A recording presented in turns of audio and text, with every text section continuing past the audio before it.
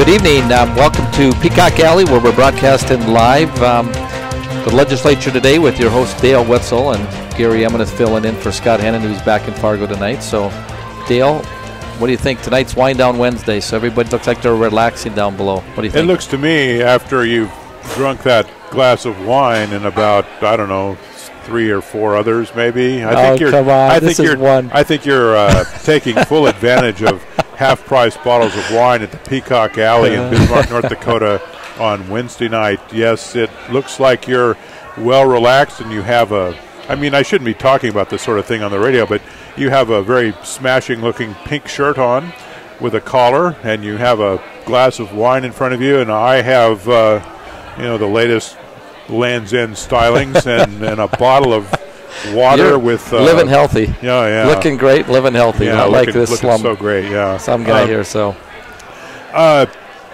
we, this morning or this today at the legislature, there were a, a number of things that were going on. Of course, as there is every day when you have a 80-day session every two years, you have to kind of cram a lot into every day, and so there's something every day, a lot of things every day that uh, that are that bear mentioning.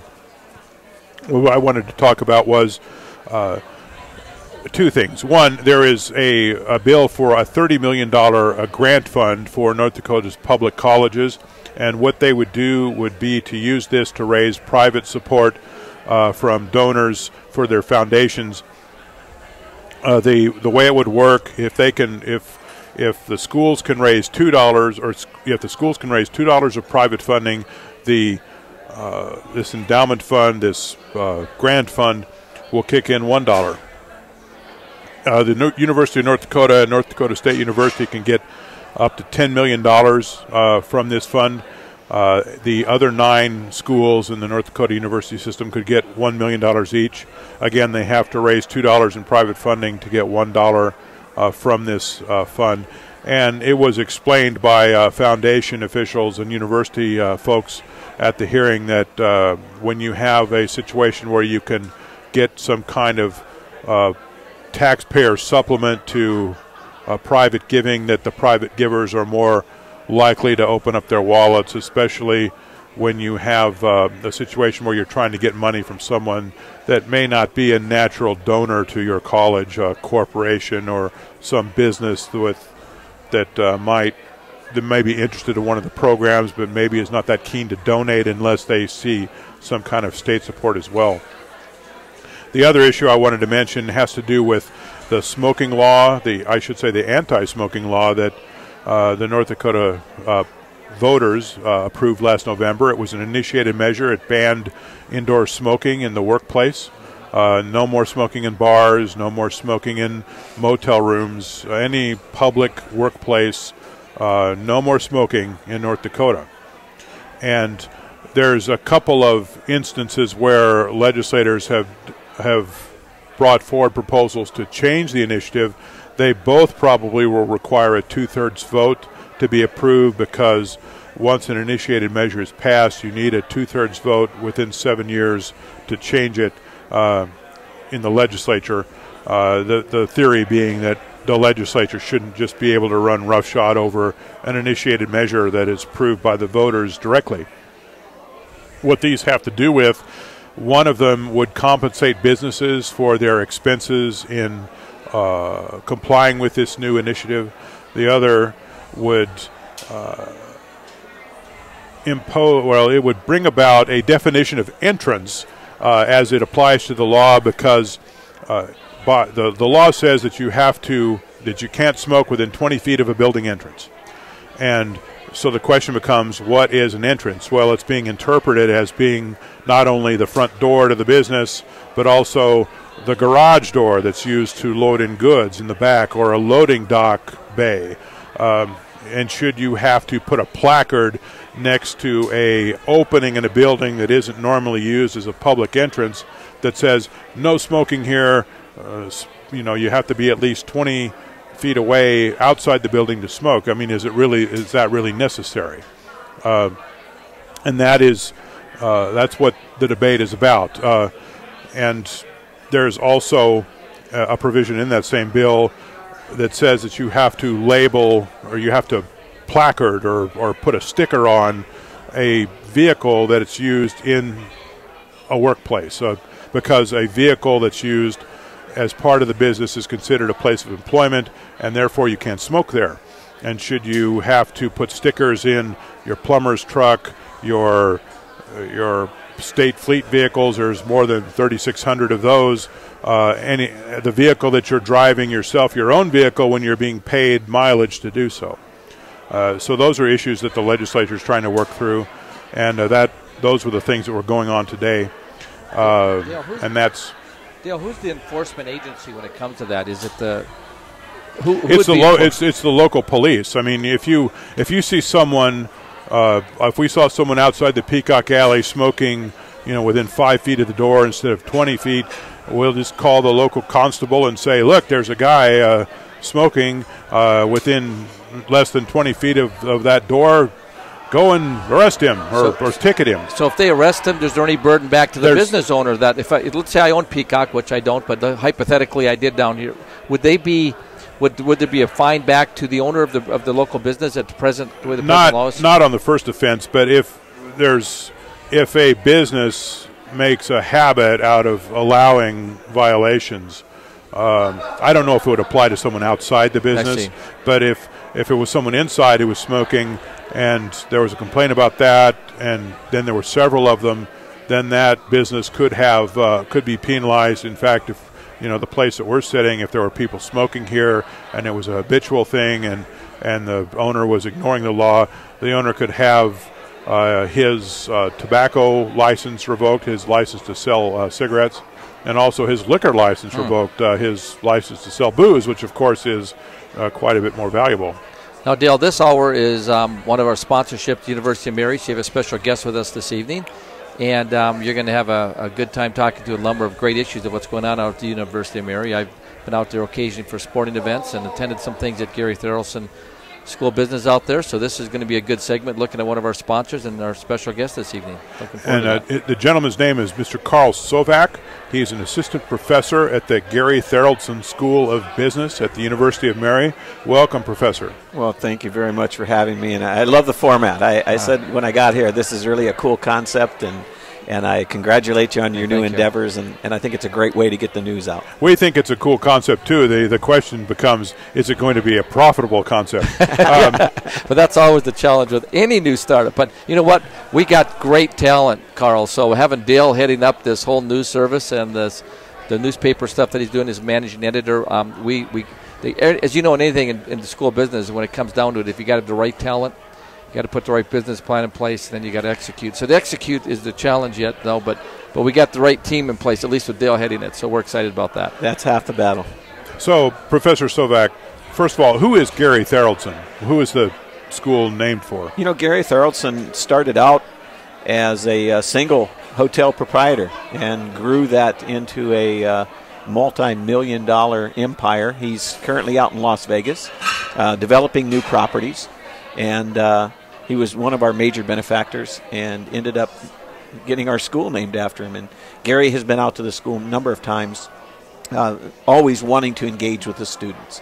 And uh, we we got a hold of him when we started the Idea Center, and, and Gary was very instrumental in helping us with the uh, understanding startup businesses and things like that. So uh, he's just a, a very good role model for our students to, to follow. How did you come to approach him? I mean, was he is he an alumnus or what?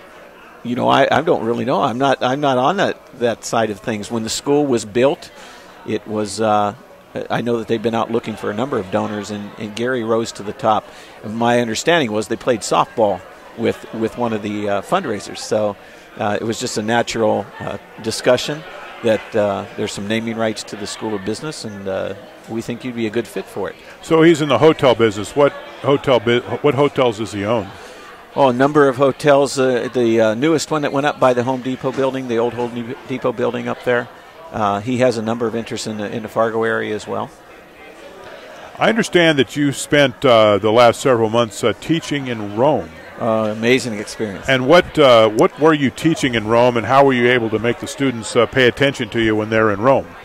Well, I taught a global leadership uh, class, uh, responsive leadership, on a global basis. And so we have 19 students that went with us over there.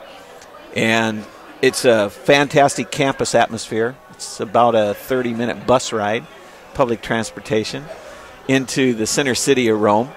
And so we're quite a ways away from uh, all the hustle and bustle, which makes it uh, conducive for us being able to be in a, a classroom situation, but also conducive for us to take and do some ventures, uh, daily ventures out into the city. And uh, so it was easy for us to, to encourage our students get up in the morning and be able to take a, uh, a little bit of uh, intellectual walk and then go into the city and take a historical walk through a magnificent city in, in Rome. Well, did they ever take like a pub walk or a uh, restaurant walk or there there were, were there were many uh, walks that, that took us outside of things and in fact there were some that went up to Ireland and, and okay. I know that they're known for their pub walks. That's a, that's there, a so. that's a pretty stiff walk up there. um, uh, how does one teach global leadership? What is what's what are the elements of global leadership? Well, you know, we uh, parsed the word in its beginning right there. We wanted to talk about who was a global leader. And so we talk about what makes a global leader. And it really has to be somebody who is influential and impacted the world. And so that was one of the criteria. Uh, responsive, they had to be responsive to uh, the needs of not only their own community, but the world at large. And then leadership, the characteristics of leadership. And we talked about transformational leaders and just transactional leaders, but then also servant leaders. And that's one of our uh, founding uh, philosophies at the University of Mary. And so a number of the students chose individuals who were truly servant leaders uh, John Paul II, uh, Mother Teresa. Those were the ones that rose to the top and were quickly snapped up.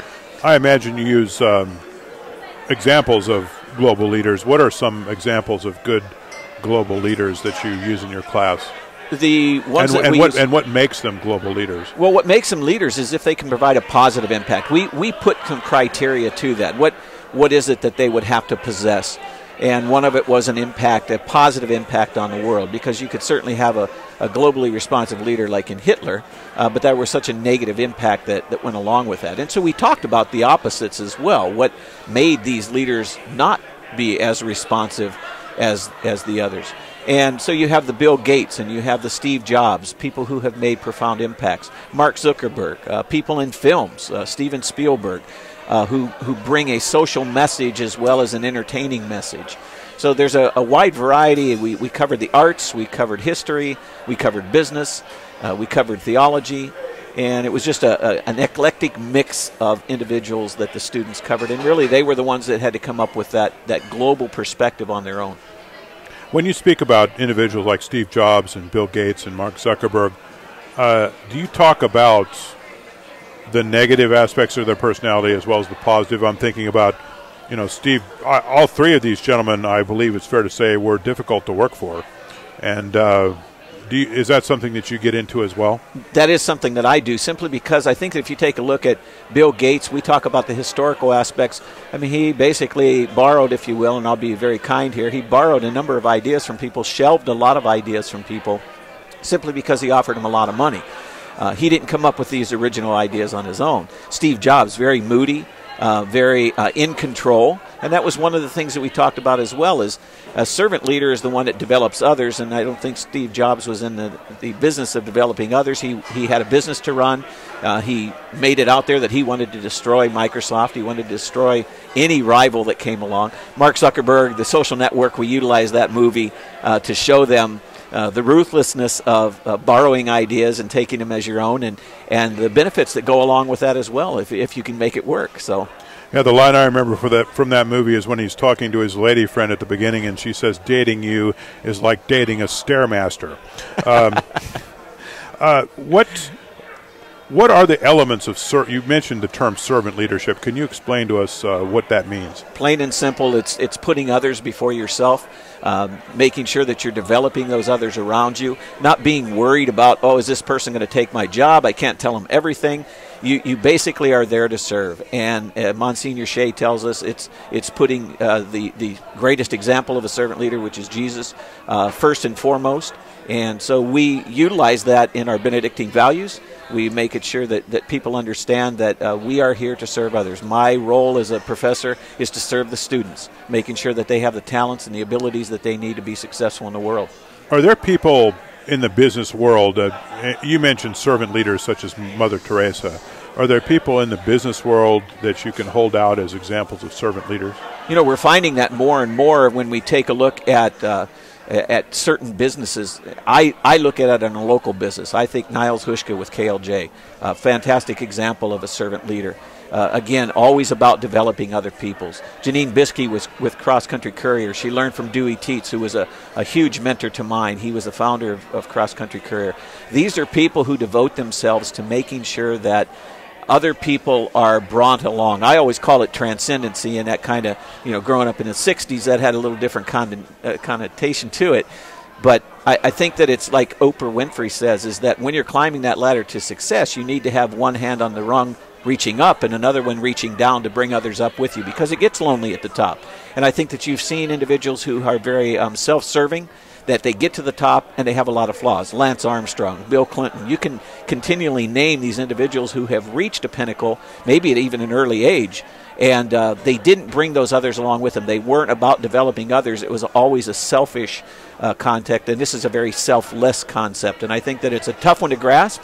Uh, but we constantly take a look at those leaders that can be servant leaders. You mentioned a couple of businesses, KLJ and Cross Country Courier. Can you explain what is KLJ and what is Cross Country Courier? Uh, Kadrmas Lee and Jackson, I, have been associated with, with them since I, I came here in 2005 and Niles and I, Niles is the CEO, and, and Niles Hushka is, is, like I said, has been a mentor to me as well. Uh, very instrumental in helping us with the Idea Center and developing an incubator for startup companies, which Dewey Teets and I started.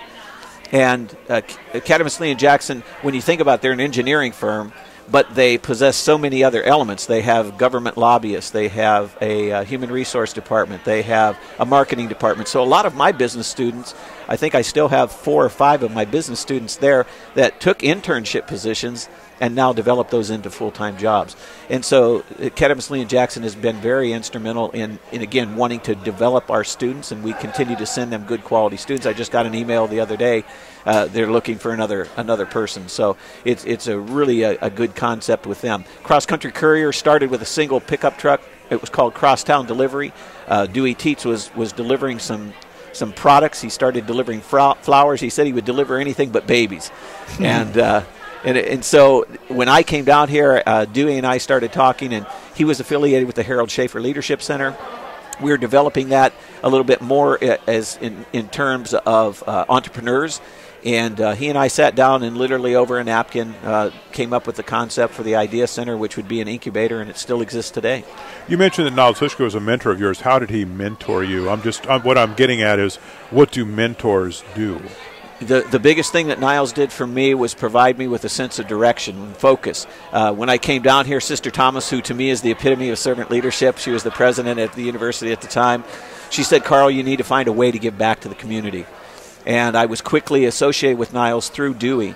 And Niles was very instrumental in, in not only introducing me to a number of people, so networking was, was a prime uh, concept behind what mentoring goes on, uh, but also letting me know and leading by example of this is the way that you do things. Uh, this is the way that you treat people. Uh, this is this is the way that you you bring people into the fold and welcome them. And uh, again, just a wealth of knowledge. He was he would always send me, and he continues to send me uh, things from Harvard and things from uh, different publications that he runs across. So again, it's just developing others the way that you feel that they should be, believing in others the way that they probably don't believe in themselves. To me, that's the definition of a good mentor. One of the things that um, that I understand that you're involved in is something called the Student Equities Club. Uh, I am fascinated by that. Could you talk about what is the Student Equities Club and what does it do? Well, the Student Equity Club was established uh, about three years ago, and what it was was a uh, an amount that the school decided that they would give to the students and it would be a student managed fund. And, and this is actual money. This is not play money. money. It's not play money. Okay. It's actual money from the school. All right. And uh, Dr. Feng Zhao, uh, who is our finance instructor, is the overseer of that program. And I'm pleased to report that ever since they have started that program, they have exceeded the Standard & Poor uh, returns every quarter. So they beat the index funds. Huh? They beat the index funds, and uh, he's very he's very happy about that. I think that he said that he sold Apple. If I remember the conversation, I just overheard it. He sold Apple at the right time. So uh, they have they have continually produced on a positive basis, and it shows the students again not play money but real money. That number one, the school trusts trusts you, and again, if you put your skills and your talents together you can do great things. And so, from an experiential standpoint, these students are understanding how to how to manage a portfolio. How many students are involved in this program? You know, when we first started that program, I believe that there were oh probably a, a I would say a dozen, and it's probably down to six or seven. And I know that that's a, a growing program. And uh, uh, Dr. Zhao is, has has worked on, on developing those numbers and telling students, you know, students are, are a different breed these days. They have so many things that they're being torn with um, that that when they do this, they do it with discerning uh, minds. That is this something I want to be a part of? And more and more of them are starting to see, hey, I got a chance here to, to be a part of something that's really huge within the university. Is it tough to get them involved in, in equities or interested in them because of the volatility of the market? I, I don't know if it's the volatility of the market or just the volatility of their time. Uh, time management is not their strength. And so we're working on those kind of things to make sure that they can balance their workload and their school load and get some good experience in some of those areas. Okay. Because I. How do they research their stocks? What they put into, what what, what they put the money into? Uh, they have they have a number of, of uh, periodical resources that they use, Kiplinger, as well as a software program that Dr. Zhao has uh, available to them. We're speaking this evening with uh, Carl Sovak, an assistant professor at the Gary Tharaldson School of Business at the University of Mary in Bismarck, North Dakota. We'll be coming back in the next half hour to speak to uh, Professor Sovak again about uh, some of the programs at the University of Mary and some of the ways that his students assist people in the community.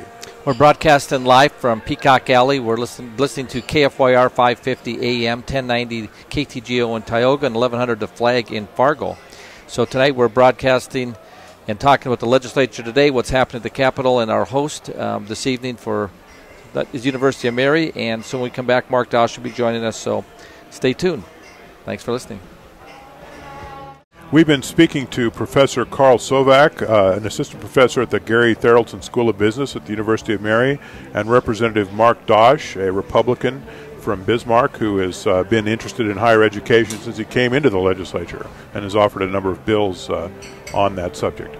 establishment of gaming policy, the establishment of our oil and tax dollars, and how these monies are, are distributed, and what the state's responsibility should be to help fund the social services on the Indian reservations. Uh, you kind of have to look at the whole picture, and um, so that's why we want to we want to bring it back to legislature so all sides can be looked at and and uh, you know keep that policy making responsibility back in the hands of the legislature. How about the uh, college scholarship legislation? What does that do?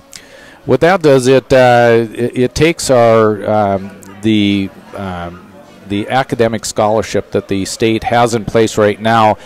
And uh, currently, in order to qualify for that, uh, students have to uh, end their senior year with a GPA of 3.0 or higher and uh, an ACT store, uh, score of uh, 24 or higher. What my bill does is it, it rather than require both, it, it turns it to an or. So if a student has a 3.0 or greater, he qualifies, or uh, ACT score of 24 uh, or greater, he also qualifies. So we're going to open it up to more North Dakota kids. Uh, you know, the problem is uh, the way it's structured currently. Uh, you know, you could have a, a, a, kid go all the way through high school with a 3.5 or 3.7 or even a 4.0 grade point average, and and you know you take one ACT test and you get a 23 on it, and guess what? You're excluded from the the state scholarship, and we just don't think that's right.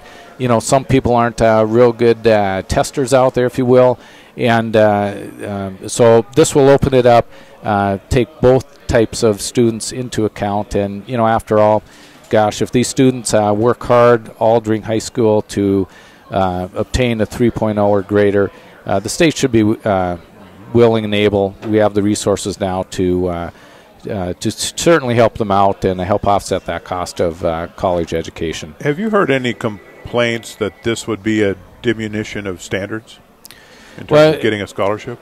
uh, you know, that comment uh, uh, we did hear, the question was asked actually in committee. And, you know, I look at it this way uh, I put a little bit more faith and trust in our teachers in K through 12.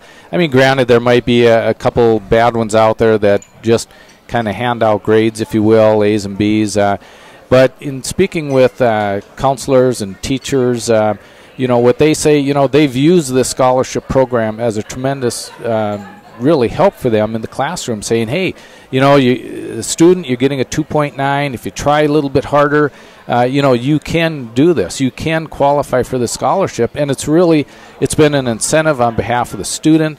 It's been uh, incentive. Uh, it's getting parents involved. Uh, finally, uh, you know, parents are taking note on what their kids are doing and what kind of grades they're getting because you know there's a, there's a six thousand dollar scholarship uh, uh, riding on this. And the other thing that you have to remember is that you know even if they qualify for this scholarship uh, in their uh, in their you know uh, freshman year of college, they still have to maintain uh, a GPA average in throughout college in order to get the scholarship. it's awarded uh, each semester, and so if they drop below it, they you know they could lose their scholarship. So really, this incentivizes them all four years during high school. Plus, it offers an incentive during college that you guys got to keep your grades up in order to, to keep uh, getting these scholarship dollars. So I think it's a great program, and the more we can open it up to to more kids in their state, and you have to be a North Dakota resident and graduate from North Dakota High School in order to qualify. So, what better way to spend our, our money? Our our segment this this evening is sponsored by the University of Mary. I understand you have a relationship with the University of Mary. Could you describe that? Well, you know, our relationship goes back uh, to the Univer- University of Mary uh, uh, many, many years. Uh, uh, I'm in the hotel business, um, and uh, many years ago, when when University of Mary was growing and and expanding, we actually housed some of their students at the at the hotel and uh, that's kind of when our, our relationship uh, really started with them. And uh, you know, then we've uh, we've been supporters ever since. Been a member of their uh, Presidents Club, uh, and you know, a, a supporter of, of, various athletic programs that they have out there, mini Marauders, some soccer teams, that sort of thing. And it, it's just been a, a good a good relationship. Were you were you jealous when the business school was named after another fellow in the hotel business? Well, you know, uh, uh, Gary Tharaldson uh, has done uh, uh, is a, a, remarkable businessman uh, in the state, and you know, hats off to him. he started out in I believe it was Valley City, North Dakota, and he's done extremely well for himself. So you know, kudos kudos to him and uh, we always uh, welcome the competition. Who knows? Someday uh, uh we may have something out there. The business school, uh, Professor Sovak, the business school at, at the University of Mary. What sort of? Okay, I'm a, let's say I'm a student. I I'm looking at your business school. What is it that the business school has to offer has to offer me in terms of the programs? I think uh, two things that, that we really stress is the experiential aspect. We make sure that we get people into the classrooms and we make sure we get our students out of the classrooms. Uh, through that experiential education, we require internships of all of our students, so we give them that practical, real world experience. Uh, Monsignor Shea says we have to stop talking about the real world and get them out into the real world, and so that's uh, one of the things that we focus on. From that experiential education, uh, we give them the opportunities through networking, uh, showcasing their skills to a, a wide variety of employers uh, and, and mentors uh, that go along with that. We're currently working uh, with a program for our alum to come back and mentor our juniors and seniors uh, to just kind of tell them, hey, here's what you can expect when you graduate. So a, a wide variety of things, but again, experiential education and, and, opportunities that come from those those experiences. What sort of internships uh, do your students uh, get as a matter of, of course? What are some of the common fields and companies that they work for? A wide variety. If we have four uh, majors, and uh, really five, six majors probably if you go through them all. Uh, of course, the accounting uh, aspects they, they get it with the Eide Baillys and uh, a, a, number of accounting firms. uh, as well as working with Cloverdale's, your, your for-profit companies, and, and even some nonprofits that, that need some assistance. Uh, they also we have a sport and leisure management. So a lot of the park and recs, we have civic centers. We have individuals uh, going down to Rapid City and working within the civic center as internship opportunities. Uh, Cloverdale, Kadrmas Lee and Jackson, uh, wide variety. I, I know that uh, Mark's son was was able to make sure use of his internship at, at the hotel. So it's it's a wide variety all over there. We have a financial and uh, banking services internship where they're able to work with a number of the local banks. And so, uh, again, just a, a wide variety of, of different opportunities for the students in different areas. Is it tough to get students into financial and banking services? You know, we've worked on that. It has to go beyond just being a teller uh, we want to make sure that they have access to, to individuals. And so we have a number of banks, we have a number of financial planners that are willing to work with our students. Uh, the proprietary information, the private information, those are the kind of things that make it tough in that industry.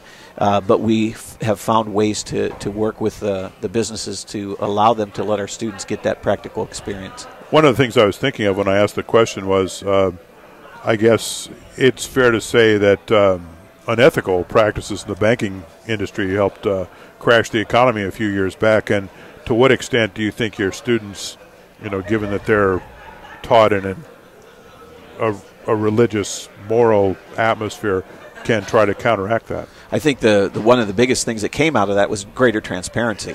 Uh, the banking industry is now uh, focusing more on, on being more transparent. And I think that that lends to more opportunities. Uh, what used to be a close knit uh, very closed society has now been opened up and made a little bit more transparent. And what is sport and leisure management? Uh, how, do, how does one get into that, and, and why would one go into that as a, a field? It is a huge growing field. Some, some call it sport and entertainment management. We call it sport and leisure management. Uh, you can do golf courses, you can do your parks and recs, uh, civic center, facilities maintenance. There's a ton of, of different things. Golf course, we have people that are managing golf courses that go through the sport and leisure management.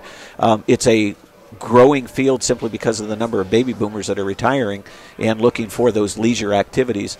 Uh, you need somebody to manage those things. And, and I always joke around that, you know, this underwater basket weaving will someday need a manager to, to manage that, that course. Uh, what you mentioned, it made me think of a Wall Street Journal article I read a couple of days ago. It, ha- it uh, the headline was something like, "Don't make fun of the gym majors because they've got lots of job opportunities and maybe uh, you don't." Um, uh, Representative Dosch, uh, do you think that the legis just to get on a bit of a different track, do you think that the legislature, the North Dakota legislature, uh, takes into account private schools, private colleges as much as it should? in making higher education policy? Well, you know, Dale, I don't think they do, uh, quite honestly. Uh, uh, in fact, I've sponsored a few different pieces of legislation over the years. I, I have another one in uh, in the hopper now that's uh, uh, going to probably be coming up in the next week or two. it primarily deals with K through 12 education, but allows the private schools to, in essence, contract with the uh, DPI to provide educational services. Uh, uh, so, a school like, for, for instance, uh, Shiloh or St. Mary's could contract with the DPI uh, to to educate the kids, uh, and all they have to do is pay them 25% of the cost of um, uh, what it cost if it, this child would be in the uh, public sector. So it, it's a tremendous cost savings uh, to the state, and uh, I, I, you know, I think a lot of people overlook that when they talk about uh, private education, and um, you know, competition is always good out there. Uh, the private schools have, have kind of proven that they can do a lot more with a lot less, and you look at the funding uh, that we provided K through 12 and higher ed. Uh, you know their budgets have doubled over the last uh, 10 years that I've been in there, and uh, you kind of have to scratch your head a little bit and say, you know, are the citizens uh, really, you know, getting the best bang for their buck? Uh, is there anything wrong with um, supporting non-public education out there if they're able to do just as good, if not most cases, a little better job than the, the private sector. So, uh, you know, rather than having the taxpayer pay 100% of the cost of education, gosh, if they can, you know, if, if we can encourage others and, and uh, to take this on for 25% of the cost. Why wouldn't we do it? And uh, so it's kind of always been one of my goals and objectives in the legislature is to kind of do what I can to bring that to light. Uh, Professor, uh, Professor Sovak. We're, first of all, we're talking uh, this evening to Professor Carl Sovak. He's an assistant professor at the University of Mary in the Gary Tharaldson School of Business. And the voice you just heard a moment ago was uh, Representative Mark Dosch. He's a Republican from Bismarck, and uh, he's we're both here at a uh, speaking on the Legislature Today radio show uh, on a segment sponsored by the University of Mary. Professor Sovak, I something that Representative Dosch just mentioned made me think of this question. Do you see the public uh, college uh, sector in North Dakota as do you see it as competition? Do you see it as a partner? Do you do you even think of it that much? You know, I, I would assume that there would be the four-year colleges, state colleges, would be competition. But uh, as as uh, Mark says, you know, you really put out a quality product. You really don't worry about that and uh, I think that you've started to see a little bit of that more blurring. Uh, our partnerships with Arizona State, for example, our partnerships with BSC, uh, the two-year, what we what we see as those uh, a two plus two programs, where those students go through, get a quality education at the community college level or junior college level, and then move on to a, a higher education. We're we're in partnership now with Dickinson State, uh, so I think you're starting to see a number of different elements that come through where they are seeing the benefits of having a, a, private education that goes with that, the holistic side of it, the Benedictine values, and and finding that you can really nurture the whole person. And wherever you can get that education, the best way you can get that education. Uh, I, I see it in the private school. Uh, I see it with the smaller class sizes, uh, greater relationships that we have, uh, quality of students that we have. Uh, and I taught it at both the state and, and the private, and I, I love the private school setting. One of the uh, something I wanted to ask both of you about is what are the challenges that you see coming up for higher education, both private and public? I mean, there are, we mentioned competition a moment ago. There's competition from YouTube. I mean, there's lots of instructional videos on YouTube. Uh, I'm thinking specifically of the Khan Academy, the gentleman who does a, a number of classes on, on various uh, disciplines. You have online universities. Uh, uh, and in the meantime, you have all of the uh, attention being paid to increasing student debt and rising tuition and the consequences of that. What do you gentlemen both see as the challenges to higher education in the future, and, and how do we address them? Well, I, first of all, I, you know, the declining population of the number of students. We're starting to see that a little bit now at the elementary level where it's starting to increase, but the, the pool of which you can grab students is, is getting smaller and smaller. Uh, again, that should pick up again, but you're talking maybe K through four, uh, where you won't see that now for probably another eight years.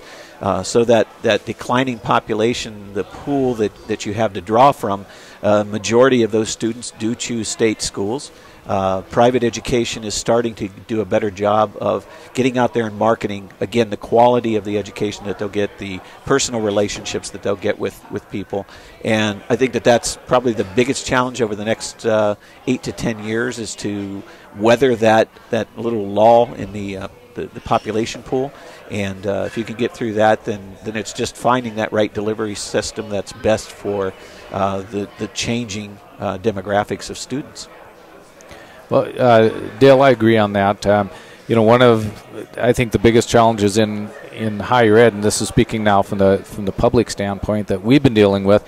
You know, for years we were dealing with declining enrollment, and you know, uh, all the issues that come with that, and and uh, you know, now we are starting to see an uptick, uh, at least in North Dakota here. But uh, you know, the the difference and things that are coming is is the online services, and uh, so we you know, as a legislator and, and looking at funding for higher ed, we want to be very careful what we do as far as expansion of, of you know, the brick and mortar type of things because, uh, you know, I think we are going to see the uh, change. And, uh, you know, the collaboration uh, between colleges and universities, such as uh, what Mar- University of Mary's done, has been great. And I, I think maybe that's where we have to start focusing a little bit more of our, ne- our effort. One of the things that was interesting to me about the governor's budget proposal was the amount of construction there was in there for higher education. And I wondered if that was congruent with any kind of trend toward more online delivery and, and methods of offering higher education that uh, don't need expensive building. Well, and that's exactly right, Dale. Uh, you know, one of the things, or a good portion of those funds, uh, 68 some million dollars of that is, is looking at for a new med school. And, um, you know, given our aging population and that sort of thing, our shortage of doctors, you know, that may not be too bad of a, an investment, a long term investment for the state. Uh, but some of the other things in there, um, uh, you know, I think we really, uh, we really do have to question and uh, be careful what we're doing. Professor Sovak, uh, one of the we, we were talking earlier about servant leadership, and one of the things that I was looking looking at in terms of you know fulfilling that mission was uh, what the business students do to help low income people prepare their taxes. Could you elaborate on that a bit? You know, our accounting instructors have always been uh, instrumental in making sure that the students get a practical experience, and tax time is the best time to take a look at, at crunching numbers, if you will.